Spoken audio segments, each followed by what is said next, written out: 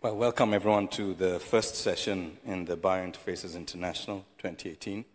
I remember in 2016 getting a ribbing from uh, David Grainger. So I would like to return the favor, but I won't do so with so much uh, vigor. Uh, David holds uh, professorial positions in bioengineering, chemistry, pharmaceutical chemistry, as well as orthopedics. Uh, he has in research interests in innovative materials, particularly medical devices, drug delivery, and one of his passions, which is surgical infection. He's also worked on host-guest uh, interactions with uh, development of coatings, no, no, as well as analytical methods and uh, molecular methods to characterize surfaces and interfaces. He has extensive industrial experience, particularly in R&D for medical devices. And there, as an industrial uh, scientist, we've really appreciated him as being an advocate of uh, common sense as opposed to blindly uh, following regulatory protocols. Um, this has often served to discourage industry uh, to, in developing uh, device-based solutions in healthcare. Uh, David's going to provide a critical overview of biointerfacial challenges and unmet need. Dave, the floor is yours. Thank you, Alvin. That was a great introduction, very complimentary. I didn't expect that. My job this morning is to, what I say, stir the pot. And so I'm going to try to encourage you to think that you all have job security because there's a lot of work that needs to be done. And uh, despite the very brilliant people in this room and working around the world on your problems, uh, that in fact there's many things that remain unsolved. So I've deliberately put together a talk today that will try to outline some of the challenges and perhaps stimulate you to think. And that's my job here. So let's just start right off. Despite the fact that we have notable successes in diagnostics, in drug delivery systems, in medical devices. There's still many, many things that are left unsolved. And we've got uh, the problem with vascular devices that all clot blood, and I'll, I'll discuss this in some detail. Uh, that we've got uh, problems with implanted valves and blood pumps, they all calcify. It's an interfacial problem that percutaneous leads in the body that come out through the skin they all fibrose.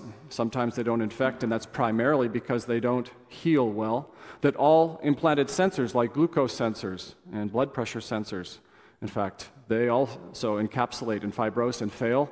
Most soft tissue implants fibrose and infect. And I could also argue that hard tissue implants also fibrose.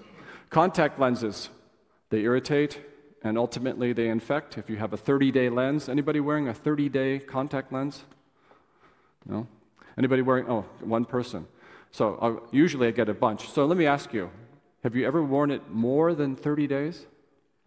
Oh, of course. Many people wear it more than 30 days. The original device approval for that was for 90 days, right? And our FDA in my country said, no, we're not going to allow 90 days, so they roped it back to 30. So, in fact, you're, you're justified in wearing it more than 30 days. But there are reasons that you don't wear it these contact lenses for more than 30 days, and because the infection risk climbs exponentially beyond that time frame. The original device approval was sought at 90 days. All right, anyway, implant centered infection, beyond the contact lens to all device categories. Anything that's implanted is infected, uh, infection risk the rest of your life. Many metallic implants, despite how sophisticated metals chemistry and metallurgy are. In fact, we still have major problems with corrosion and ions leaching in the body. Protein fouling is still uncontrolled. It's uncontrolled on ships in the Navy, it's uncontrolled on medical devices, it's uncontrolled on diagnostic surfaces. Haven't solved that problem either. Targeted drug delivery really isn't targeting, and I'll try to show you that. And then creating engineered tissues has proven far more difficult than we anticipated. The number of tissue engineered products on the market in humans, how many people would guess? Anybody want to guess? How many tissue engineered products are on the market? Very few, primarily skin. And there's some cartilage, cartilage products that claim to be engineered, but in fact they're autograft. So uh, material science alone hasn't solved many of these problems. And the question is can, can clever bioengineering help us deal with that. And I think this is your venue. This is your ability to contribute and to make good where my community has not been able to make an impact. So fasten your seatbelts and let's take a ride and look at some of these issues in the remaining time I have. All right, so it starts fairly simple. As material scientists, we create some materials and we then interrogate the surfaces, and we're very good at surface analysis. Surface analysis can tell us composition, and it can tell us structure, and it can tell us about energy gradients, and it also can tell us about mechanical gradients. And those gradients exist in the perpendicular to the surface, and we can create materials in which those gradients exist in the parallel to the surface. So our gradient idea comes from the idea that we understand bulk chemistry and we understand that the surfaces of materials are distinct. And sometimes we can control that surface chemistry, and other times we cannot. Uh, if we now extend that surface to simple protein solutions, dogma, dogma would tell us that the chemistry we thought could control proteins at interfaces, but in fact, it's a much more complex problem than that. The Vroman effect tells us that we have this dynamic exchange process, that we have desorption and adsorption events occurring. How many proteins are there in blood? How many different proteins are there in blood? Anyone want to guess that? Uh, I'm getting answers from the front row. Sally? You're, you're an instructor, you're not part of this workshop. I want to ask the students how many, how many proteins are there in blood? If we count them by the proteome, 100, 200, a million? So it's like two types of, there's two, two, two answers, right? One's wrong and one's right, and nobody cares, right? So somebody give me a number. 10,000. So by the proteome count, it's about 2,200, but we have various isoforms, and we have various different types of metabolic and other types of genetic splice variants and so forth. So that, that's a reasonable number. 2,200 genetic components with variants. So any of those pro protein components can, can absorb to the surface, and we have then this competitive exchange. We have then uh, different types of exchange environments, and we have what's called the Vroman effect. The Vroman effect has been around since Leo Vroman coined this in the 1960s. And this idea that, in fact, at any point of time and space, that proteins can exchange with each other, and the most rapidly absorbed proteins on a surface in the body will be exchanged over time to produce a new equilibrium. So we have a time and space variant with proteins at surfaces that we have not solved with our chemistry. And then we can take it a step further because those proteins then control cells on these surfaces. They control how cells engage with surface chemistry, and they also control how cells engage with each other when the cells attach to that surface chemistry. And so, because we can't really control the proteins on a surface from serum or from plasma or from cell culture media, we also have a difficult time then understanding how we can control cells for cell line dependent surface interactions like stem cells. We also have a hard time understanding how to do co culture because having two cells on a surface engaged with an uncontrolled protein environment is, is a very difficult problem. So, the ability to move from controlling stem cells and multi cell cultures is where we need to go in terms of understanding how to produce regenerative medicine. And so regenerative medicine is now stuck in this impasse of trying to understand where do materials contribute to the generation of new tissues when, in fact, we can't control these types of molecular engagements on materials.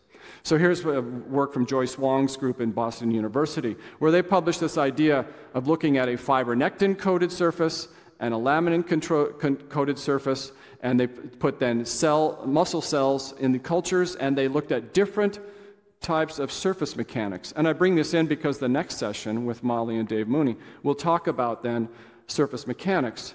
And what was interesting is that they saw that fibronectin did not allow, uh, uh, uh, sorry, fibronectin and laminin had very distinct behaviors in terms of allowing muscle cell motility. That is, muscle cell motility worked in this surface uh, mechanical gradient for a fibronectin coated surface, but in fact, with laminin, these cellular movements and these excursions were highly limited.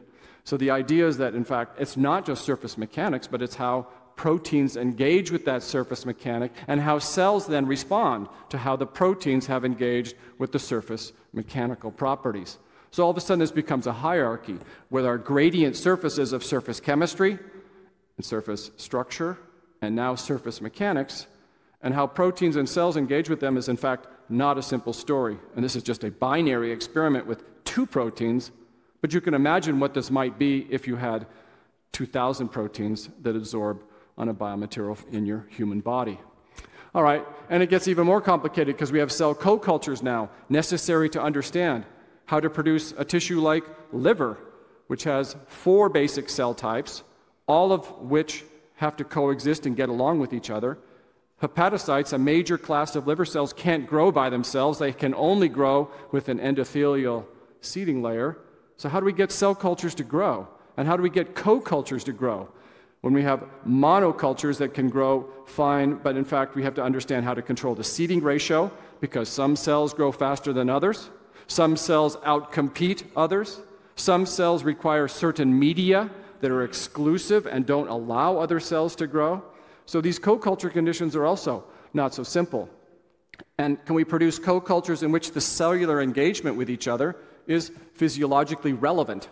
So this requires an important step called validation. And validating then what a co culture means and what a co culture has to do in uh, producing regenerative tissue or tissue like materials is, I think, an unknown question. So we also think that when we miniaturize these systems by putting them into microfluidic systems to create organ on chips, we think this is really clever, but in fact, it's very challenging. And this has been well di- diagnosed in the literature where macroscopic cell cultures have certain advantages. Microfluidic cell cultures have certain advantages, and now the challenge is with then the scaling of mic- macroscopic cultures to mac- microscopic cultures is in fact also poorly understood. So if we move stepwise from primitive systems with single cells and single proteins, and we try now to make it more complex to create multicellular systems with many proteins available, many types of media available, the types of challenges to get regenerative medicine types of scaling in materials is, in fact, an unsolved paradigm. All right, so as we find it scientifically interesting, these types of pictures that are intriguing, that we could put all types of different tissues on a chip, and you can see this popularized literature all over the internet. And in fact, there is a growing interest in human organs on chips, but I would say that it's scientifically interesting, but many claims are unvalidated. And this, though, this is a nice article that was published from a person in industry that says these are nice scientific claims, but in fact, industry needs validation. Industry needs to know where these products actually mimic real tissues, where these products actually mimic real organs, and where they actually perform as the pharmacology and as the screening systems might want them to be useful for industry. So there's no validation for even a single cell culture for the pharmacological testing of drugs at an FDA standard. At a scientific standard, sure, there's a million publications, but in an F- FDA regulatory standard, there is no validation. There's no validation for organ function on chip, there's no validation for multicellular constructs as demonstrated in these cartoons. So you have to be careful about the seduction of this type of artwork online because reality is, in fact, much different. And if we look then at real tissues, real tissues are much more than cultured cells. Real tissues have ultrastructure, as shown in this very elegant slice of a trabecular lattice in a condyle, of a bone, mesostructure in terms of cell cell contacts, as demonstrated in the context of myofibrils in muscle and their mechanotransduction and how that works with cell cell contacts. That many systems are innervated and they're vascularized. You don't see any innervation, you see no vascularization on a chip model. And that they renew spontaneously and they function spontaneously another very important property of real systems that is rarely duplicated on a chip. All right, so here's then examples of very complex structures that are worthy and highly meritorious of emulation and duplication and biomimicry. The lymph system here, the muscle system here, and the way that nerves generate from central to peripheral nervous systems. But again, they suffer when we put them on chip from the same problems of simplification they cannot be validated in terms of what they do in the body, and then we explant them and put them on a chip. And what, what do we have? All right, materials can only recapitulate so much with cells.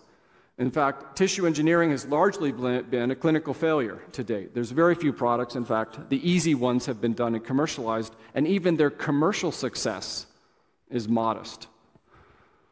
Co cultures struggle to produce these simple tissue comparisons, and materials contributions to helping tissue engineering, to helping regenerative medicine, in fact, are quite difficult. And so, this is one way to then think, rethink this process is that, well, materials are largely failing perhaps in supporting regenerative medicine, so I'm just going to use tissue fragments. I take a liver, I chop the liver into pieces, and I put those slices as homeotropic slices in culture, and I have then a organ slice culture. I can take the organs out of the body and put them in a blender and take all the cells apart, reconstitute the cells, and those expanded cells can be reconstituted to produce then an organ like structure. Or, as Matthias Lutolf will talk about later this week, I can take stem cells and use stem cell derived cultures to produce organogenesis in a dish. And that is perhaps the cutting edge of where we're going with this. But even so, Matthias focuses on what are the fundamental materials requirements to drive this process. All right, let's focus on a bit different thing. So, implants, I said before, we've, we've done a marvelous thing with many, many medical devices. We have uh, physicians able to fix human bodies with many types of parts, many types of materials. 95% of what we do restores function, eliminates pain, provides patient satisfaction. But in the 5% of implanted patients right now, many experience severe adverse events that are either involved with pathogenesis, that is, with infection, or with coagulopathies, that is, thrombosis and blood adverse events. So let's look at some of those. Pathogen contact with implantable surfaces, putting bacteria on surfaces, is thought to be a fundamental step in how infection propagates on medical devices.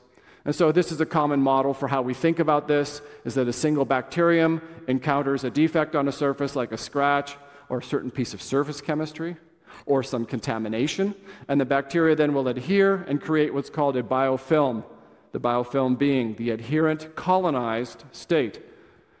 But bacterial contamination and adhesion alone are not infection. This is what we use in the lab to duplicate infection, but infection is different. Infection is, in fact, the host response to all of those things. The host must respond to bacteria in the body with an inflammatory response. The host primes its immune cells to get rid of bacteria.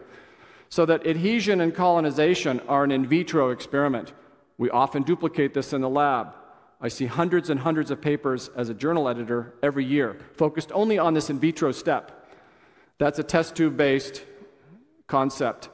But what was more interesting is in infection, and infection can only occur in vivo because only with the host response can you get an infection. You cannot get an infection in a test tube. So many of these papers focused on adhesion and colonization, they never point to how infection results from that. And as a result, most of these studies are irrelevant. They cannot help fix the infection problem in clinical materials. So, this gentleman, Anthony Gristina, in the 70s, coined the race for the surface. That is, that for any biomaterial, that the ability to withstand or prevent infection depended upon how the human body could cover that surface and heal with normal cells, and by doing that, block the ability of bacteria to find a niche on that surface. And so the race for the surface was coined the ability to create a surface chemistry that attracted human cells and rejected bacteria from that surface. And so there's been many types of surface architectures, and here's one polymer brushes in which then we can put different chain densities on a surface and create a brush. And despite many in vitro results, there are very few in vivo implants that have brush chemistry because of production issues, and there are very few examples of where in vivo brush chemistry has actually prevented or reduced infection incidence on clinical materials. Also, there's commercial entities that are selling not snake oil, but they're selling shark skin. So these are then uh, patterns that emulate the patterns on a national, natural shark skin. And the company Sharklet has many claims on their website for how this chemistry works. But in fact, there are no in vivo claims, and there are no in vivo results that show that this type of man- nano or micro pattern surface chemistry can reduce infection in vivo, only in vitro results. All right, so I did a study years ago in which we took these uh, polyester implants that were made by a Dutch company who wanted to go to human clinical trials. So these were made under GMP conditions for human clinical trials, and we put them in rabbits under GMP condition. 228 implants in one knee of a rabbit versus just the naked implant in the other knee of the rabbit. And we then looked for infection when we seeded those implants first with knee cells, with chondrocytes, with cartilage cells, and compared them in the other knee to the unseeded cells, uh, implants. And what we found was that infection, in the case of no cells, was identical to the infection rate when the cells were seeded. So, in a powered study, I remind you, there's 228 implants in rabbits. Very expensive study. I don't think it will ever be duplicated. But the only tissue engineered solution to date of putting cells on the surface preceding these implants to avoid the race for the surface, to help propagate natural cell engagement with these chemistries, led to no difference in the infection rate. So, the only powered study in the literature right now suggests that tissue engineering, that is preceding these implants with cells, doesn't change the infection rate. All right, let's change up again. Let's look at the foreign body response. What's the foreign body response? Well, this is a picture of a polytetrafluoroethylene or Teflon based device in the peritoneal cavity of a rabbit. And after a few weeks in vivo, this peritoneal device gets completely coated with this very thick fibrous capsule. It's many hundreds of microns thick. It has no blood supply. It's white. You can hold it in your hands and you can stretch it. So this capsule is, in fact, what's part of the called the foreign body response. When we implant a device, the device is coated with proteins, and yet these proteins produce a cellular response, and the cellular response produces exuberant fibrosis. And after the course of several weeks, then we get this fibrotic capsule. So that's part of the foreign body response. The biggest problem with the foreign body response is this avascular wall. It prevents immune system response, it prevents natural PO2 oxygenation and vascular supply, and oftentimes these then produce sites for infection. All right, and there have been many clever studies by people trying to modify materials chemistry, materials texture, materials porosity, materials structures to try to eliminate the foreign body response. And between these arrows in each side, there's then always this very tangible and noticeable fibrotic response. It seems that we can reduce the fibrotic response, but we can never eliminate it. And so, this is another problem in which infection and fibrosis, the kind of fibrosis that then affects, um, sorry, that affects this glucose sensing device, and all glucose sensing devices that permeate the skin, like this small glucose sensor on Medtronic's commercialized continuous glucose monitor. So this little needle goes into the skin, and this type of this uh, telemetric transmitter then transmits to the insulin pump, and you have essentially a self-regulated system in which the blood glucose reading controls the insulin pump system. And Medtronic is the world's leader in doing this right now. The problem is that these sensors are only good for. Anybody want to guess? How long are these sensors good for? A week. Good. Seven days. They sought approval for 21 days and they only got seven days. And why is that? Because the FDA saw data that suggested that these, these sensors were not reliable for patients after seven days. And because each one of these units costs in my country about $100, that means that, in fact, every week you're replacing a $100 unit on your abdomen, have to re-pierce your abdomen skin and replace that unit, and it's at enormous personal cost, emotional cost, and financial cost. So we're not able to solve this problem because of the foreign body response. All right, and I remind you then that if we take fluorinated surfaces and we compare them to polyethylene glycol surfaces, there's a, a, classic study that shows that, that well, in, in my experience, I have to deal with medical doctors, and medical doctors think that Teflon is inert. So when you uh, get a medical doctor that talks to you about Teflon being inert, they think that when you put Teflon in the human body, that it's inert, that nothing happens to it. It doesn't have a foreign body response. But we know from experience that, in fact, all Teflon surfaces have substantial foreign body reactions in vivo. And we thought the medical doctors also think that Teflon doesn't absorb proteins because it's inert. But in fact, that's another story because they have very high protein absorption in vivo. And then we can compare this to surfaces that have virtually no protein absorption in vivo, like this one from Tom Horbett's group at the University of Washington. Very low protein absorption, very low platelet binding, and yet the foreign body reaction on both chemistries is identical. So, where is surface chemistry leading us here? Very highly hydrophobic surface with lots of proteins absorbed, and it creates a foreign body capsule. Very hydrophilic surface with no proteins absorbed and no platelets absorbed, and it forms a foreign body capsule. And so, our design criteria are somehow very confused about how we get around this problem in the clinic. All right, and so they've some people have gone to drug delivery, where they put the foreign body in and they put then poly, poly, uh, degradable polymer microspheres containing various drugs, and some of those drugs are shown here. All of them are known to be antifibrotic drugs, and release those drugs around the implant, and in fact, doesn't change the situation either.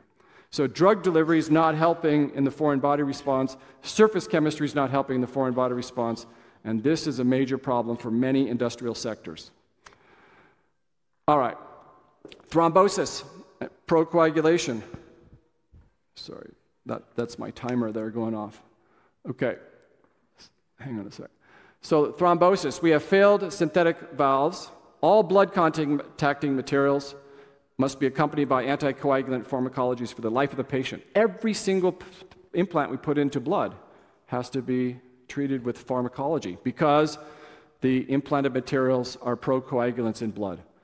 So, this has been termed the blood biomaterials catastrophe by Buddy Ratner. You can read about that. But in fact, if you could produce a material that doesn't clot blood in vivo under continuous flowing conditions, you would be a huge benefit to many, many patients. I'm going to skip through this. So, blood compatibility, importantly, though, doesn't have a standard definition. It depends on where you put the material, and it depends on whether it's on the venous side or the arterial side.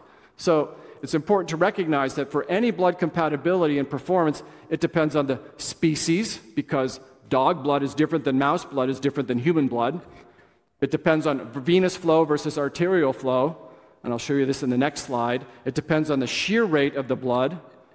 It depends on the time of blood exposure, so that percutaneous catheters that you use for a blood draw to give a liter of blood as a donation, those have completely different blood compatibility requirements than a heart valve or a or aortic replacement device that's going to be for the life of the patient.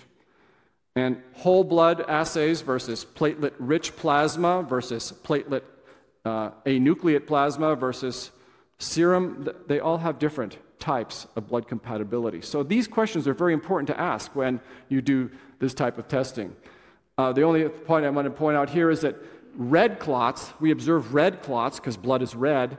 And so when you observe a red clot on sites, it's usually on the venous side.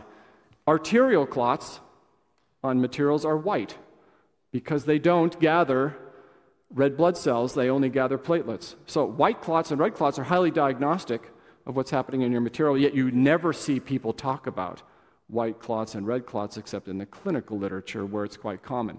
Biomaterials people just say, oh, I see red stuff stuck on my biomaterial, it has to be a clot. And in fact, there's many types of those. So, blood compatibility is another unsolved issue that has lots of details. And uh, I don't have time to go through this slide. All right, one last issue is then to talk about metallic corrosion.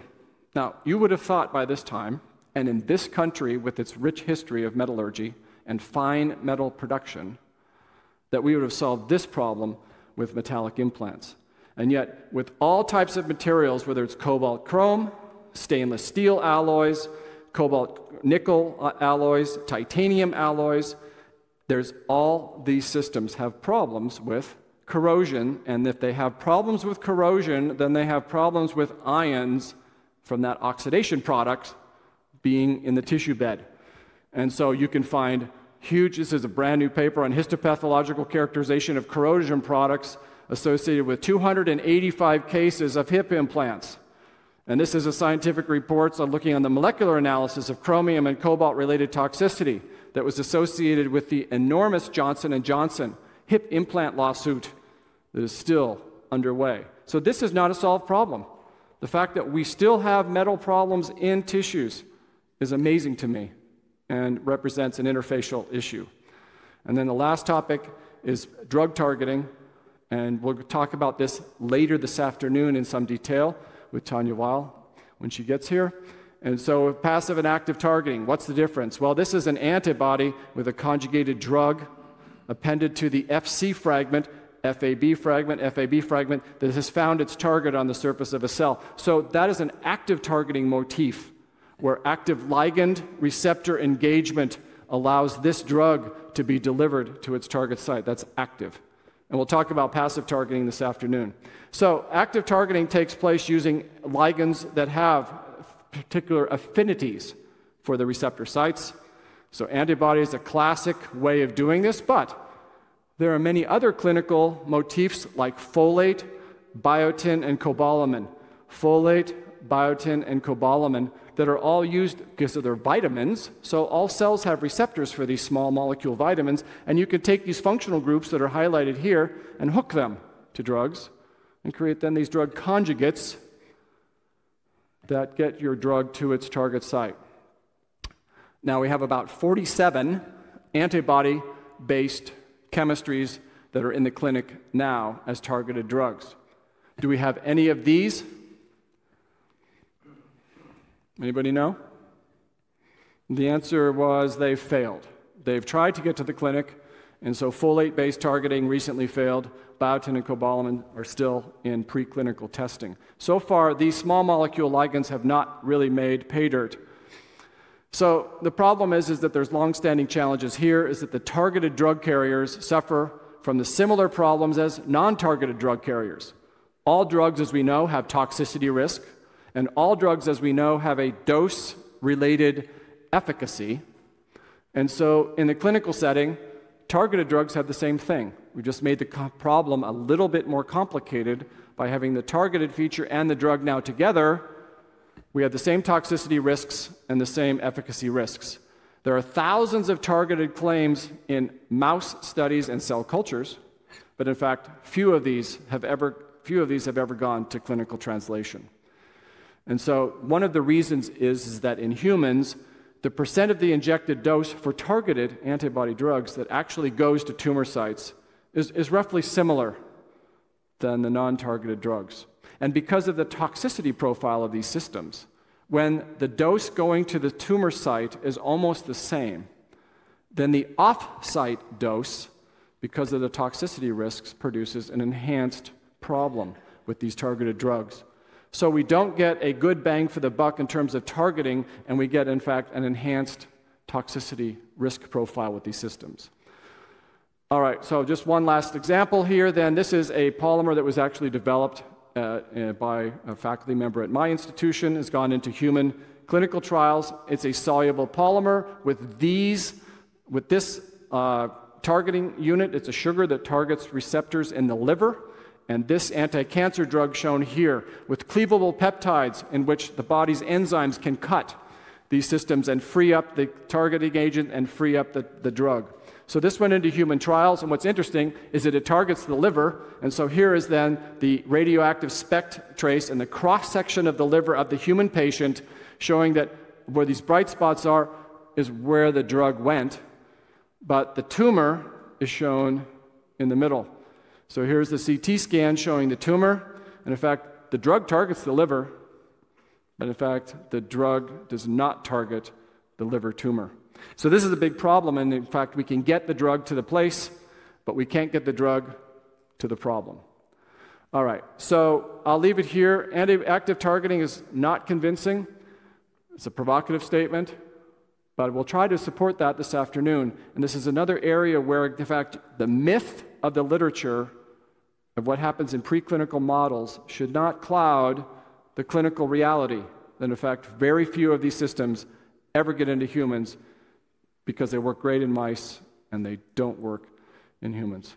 So, I'm going to skip through here and have talked about animal models. And, and so the challenges we have, again, to go back to the basics. Vascular devices clot blood, I showed you that. Implantable sensors encapsulate in fibrose, and I showed you why that occurred. Most implanted valves and blood pumps calcify. Calcification is another problem which I don't have time to talk about, but is a lot of effort that could be exerted there at the interface. We talked about infection. We talked about metallic implants corroding and leaching ions. And we talked about targeted drug delivery. And so all of these things represent this mismatch between what we understand about surface chemistry and materials and what we understand about the host biology. And so I think this workshop is all about those things. And I hope then that you'll dig deeper then as we get into the other experts talking about the other things.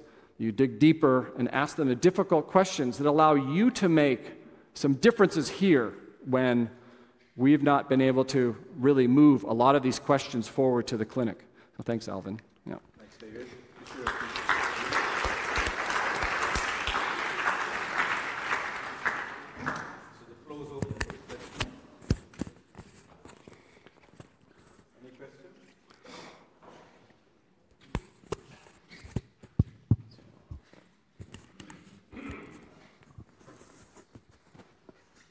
Firstly, David, thank you. That was fantastic and really dropped the bomb on everything.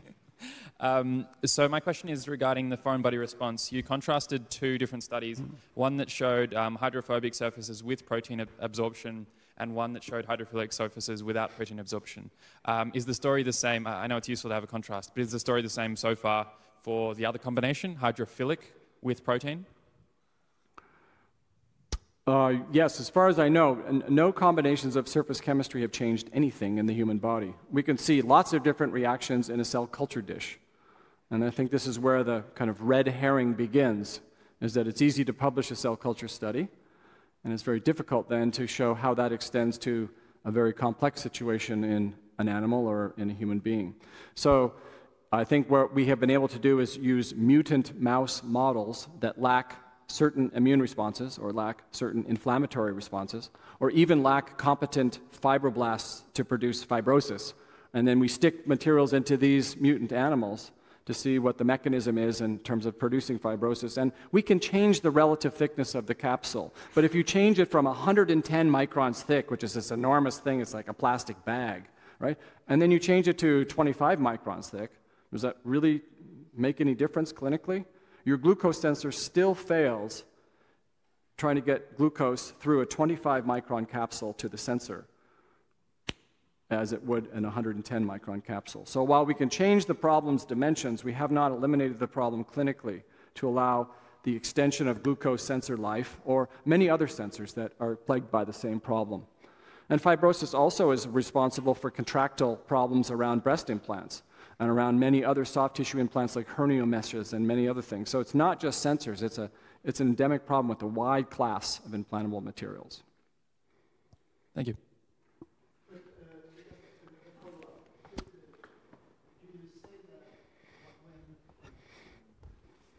Fredrik Höök. The, uh, yes, that's me. Uh, so when, when you have these mutated animals, does the surface chemistry then play a role? Was that what you said? Or with these mutations, you, you change the behavior? Is it all related to biology, or does surface chemistry ever start to? Because that would be a way to perhaps look for the reason why surface chemistry doesn't matter for, for implants. Well, I think it's even more complex than that. You know, Lars Bjursten in your country, I, have not met him for many years now, but he was pioneering in the 70s of producing these different silastic implants where now bulk mechanics were put into the peritoneum of rabbits and mice and shown to produce very different capsules depending on the bulk mechanics of the material. Then Jim Brauker came along and he then popularized and invented the company Dexcom, which is a very competitive company in the glucose sensor field. And he showed that porosity, materials porosity, was very key in producing a extension or a delay of the fibrotic response so that you could in fact take a sensor that would fibrose in three days on a solid material and now by producing certain texturing and porosity you could take that out to 21 days. And that's the basis for the technology at dexcom and their competitive glucose sensor. So i think it's much more complicated than even just talking about surface chemistry because then topography and microtopology and how cells and the fibrotic response res respond to that uh, uh, are yeah, related in some fantastic multi-parametric way that nobody's been able to te tease out so far. I have some questions here online. So one question is, how do you think high-throughput material synthesis methodologies can solve some of the problems you presented? Yeah, so I, just for full disclosure, so I'm an advisor to the Nottingham Institute that is, in fact, its entire mission is, is high-throughput combinatorial chemistry for looking at different biomaterials for specific problems under Morgan Alexander and Cameron Alexander. So those people are in fact convinced that in fact high throughput chemistries can find materials without a hypothesis, right? We're just we're searching a material space, we're testing them rapidly, and we're screening using select parameters for those parameters that matter in application X or those that matter in application Y. So there's not really a hypothesis driven approach, it's completely empirically driven. And so the danger of that is how do you get a PhD student yeah. to get a, a, PhD thesis if there's you know, no hypothesis? So that's one issue. Uh, I think that the drug, the drug screening community went down this road 20 years ago and decided that, yeah, it produced a million, million candidates, but they didn't have time really to validate and screen them effectively. So combinatorial chemistry and, and materials um, has been around, and the question is what, what, will, what will happen? I, I, think that, I think that there are certainly advantages to doing so. Um, how academics will deal with those advantages in a PhD driven process will be, I think, challenging. So we got, I saw, sorry, I saw David's hand up first. Go ahead. But was it related to this issue? Because her, her comment is, go ahead. Okay, Sally, go ahead. Doing that type of material screening, when you're pointing out that the assays don't work, how do you validate your material at that point if the assay that you're using then doesn't translate anyway? Well, that's, I think, a challenge of that particular center, and a continual critique of that center is that they picked, they picked arbitrary landmarks for benchmarking materials performance in blood coagulation, and complement activation, and in fibrosis, and drug delivery. And so, if those markers and those assays are wrong, then their fishing expedition is going off in the wrong direction. So, I, I, think that you have to validate your assays first, and under an FDA process, you would be forced to validate to show that your surrogate markers are in fact predictive of the phenomena that you wish to show. Uh, I think this is work in progress for them.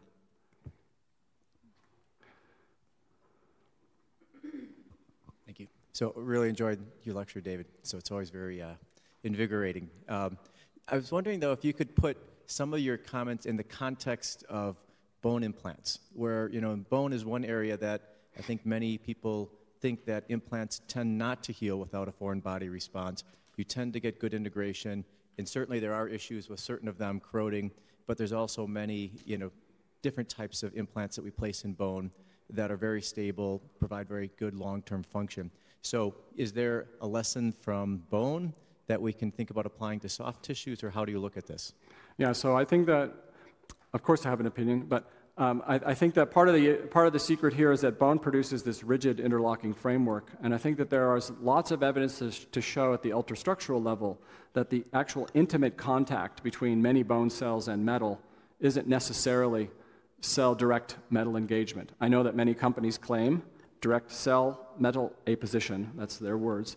But in fact, if you look at Dave Puleo's work and other people who've done ultrastructural analysis of many explanted materials, that there is a fibrous layer at the you know, nanometer level on the surface of bone in many cases. The only case I would say was maybe not true is titanium. Okay, so that's one issue where direct bone apposition may in fact be fiction in many metal senses.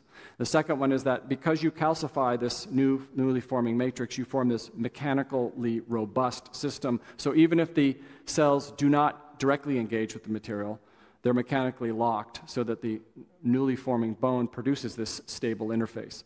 I would argue that, by contrast, soft tissues have a micro motion issue where the implant really is never stabilized in that soft tissue environment. It can flow. It's been shown in rats, for example, that they can twitch muscles in their back when we put these dorsal implants in their back, that they twitch these muscles and can actually produce this massaging tendency around implants as an irritation response to the implant that produces this soft tissue fibrosis around this. So the idea of mechanically and rigidly locking an implant in place in bone with screws and ultimately with calcified new tissue, I think is a huge advantage for bone. And that's why we don't see a lot of these problems, my, my opinion.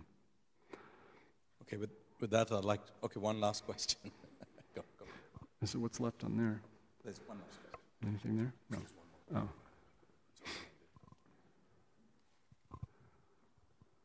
Um, please, could you give us uh, one example of a successful soft tissue implant and maybe what are the um, parameters that drive the success so that we can learn um, if we want to de develop a material for soft tissue? So, what are the key parameters and um, what we can learn from the last uh, few decades?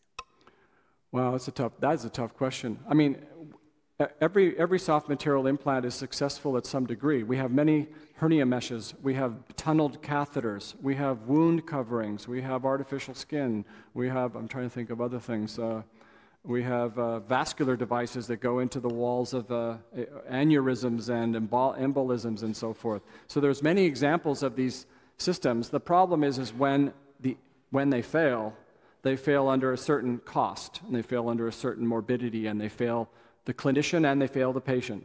So I think there are many examples of soft tissue implants of, of highly various designs, of highly various biomaterials, uh, uh, many different constructions. So I, I don't know how to answer your question. When, the, when these systems fail, the, the idea is how do we analyze that failure? What did fail? And how can we improve the design of the device, the materials of the device, the host response to the device to make sure that it doesn't fail again or it, it improves itself. So I think there are many examples. that I could spend hours talking about the successes of our field, and I think when you go to many medical device meetings, that's all people do is talk about the successes. The problem is, is in the failures, and then you have patients and their physicians asking, why is nobody paying attention to you know, the, the failure mechanisms? And I think this is where this group, when I was asked to talk about the challenges, there are no challenges with success. The challenges are in the failures, and that's why I focused on, on those particular problems because this intelligence, this collective intelligence, collective resource base, and collective um, ability to move in the next 30 years will, will fix some of these problems. Okay, with that, I'd like to close the session. Thanks, Alvin. Thank you, David.